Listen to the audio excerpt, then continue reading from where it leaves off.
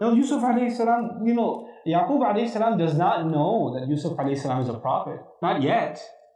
Not when this conversation began. He doesn't know that. After listening to his dream, Wahi comes to Yaqub alayhi salam, where he analyzes what this child is saying, how intelligently he's saying it, and then he makes a comment. وَكَذَلِكَ يَجْتَبِيكَ رَبُّكَ وَيُعَلِّمُكَ مِن تَأْوِيلِ الْأَحَادِيثِ That's how Allah has chosen you. So he sees something special in this dream. But that's after he told him the dream, not before.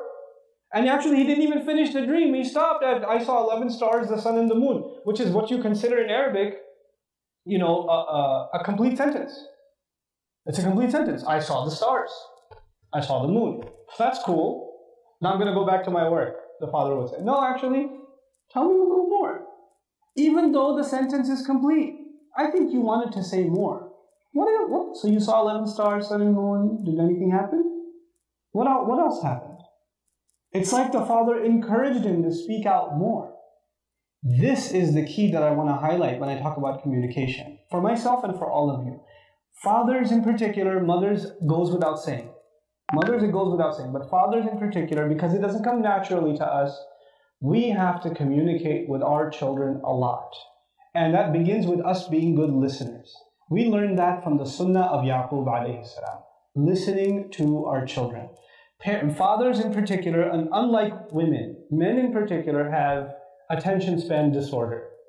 We can only pay attention to one thing at one time. One thing at one time. If I'm reading an email, I can't listen to somebody talk. I have to put it away. Okay, now say it again. Okay, okay, I got you. I cannot multitask. Women can multitask any day of the week. They could be cooking with one hand, on the phone with the other, you know, you know, uh, putting a child to sleep with the, the foot or something. They, they, could, they could do all of that and still pay. And then two kids are talking in the back while she's on the phone and this and that and the other. And like, hey, I know what you said. Say sorry. like, they can do that. Men can't do that. But you know what? You don't have to become multitaskers. What you have to learn to do and what I have to learn to do is listen to one child at a time. If because all your kids come and talk to you at once.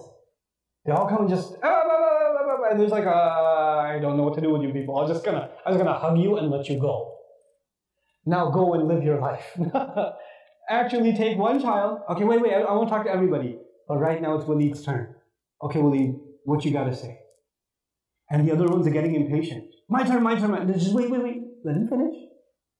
And the child feels like they got their attention. They got their time. And you actually listen. You don't just listen for the sake of listening. You listen and respond and you know, acknowledge. And these are important validations for kids, right? And then move on to the next child and the next child. That little bit of conversation, you will not believe how attached your child will become to you because you engaged them in conversation, because you showed interest in even the most minuscule to you, the most pathetic things. They're pathetic to you, but they're the, it's the world for that kid. When a child just makes an art project, it's the most important thing to them. That's like their whole world. You can't just diminish that.